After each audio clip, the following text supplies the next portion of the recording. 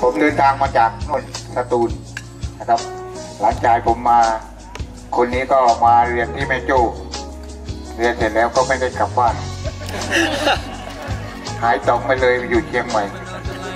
ก็กลับไม่ได้เพราะว่าอยู่ที่นี่มันหนาวพอกลับบ้านมันร้อน เลยอยู่ไม่ได้ ปักใต้เลยมาอยู่อ่าภาคเหนือครับเอาผมมาสองคนแล้ว น้องชายก็มาอยู่แม่โจ้ ก็ได้นกเหมือนกันพอหลานชายก็ได้นกอีกที่ท่านส่งเหรนมาทุกคนน่าจะได้นกอีกคนนะครับ ผมก็ไม่มีอะไรวันนี้อา ขออภัยที่ความไม่สะดวกนะครับ เพราะพระพิรุณมันโปรยลงมา ให้ความจุกจับกับคู่บ่าวสาวครับผมเช็คตั้งแต่เมื่อวานเมื่อวานคือแล้วว่าวันนี้มันจะปลอดภัยจากฝนแต่มันก็ยังมาก็ขออภัยนะครับ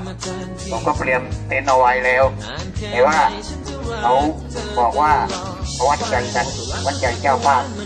พระจิตมันวัดใจเจ้าภาพว่าจะสู้ไม่สู้ ตอนเที่ยงพอตั้งโต๊ะว่าก็ร้องกรุบกรุบกรุบบอกว่าเอาน้องเอาจัดไปเลยลูกเราก็สู้มา ตอนนี้ เขาก็วัดใจเราแล้ว ถ้าเราสู้ เดี๋ยวเขาก็หายไปเลยครับอาวันนี้ผมก็ดีใจ ไม่รู้จะพูดอะไร เพราะว่าฝ่ายเจ้าสาวก็พูดไปหมดแล้วนะผมก็บอกว่าอยู่ด้วยกันชีวิตคู่เมื่อก่อนเราอยู่คนเดียว นะครับ เราใช้นิสัยยังไงชีวิตคู่เอามาบวกกันแล้วหารสองนิสัยนะมีอะไรศึกษาหารือสิ่งที่สำคัญที่สุดคือความเข้าใจการให้อภัยซึ่งกันและกันนะครับไอ้นั้นคือสิ่งคาถาที่ว่าอวยพรให้ดีมีอะไร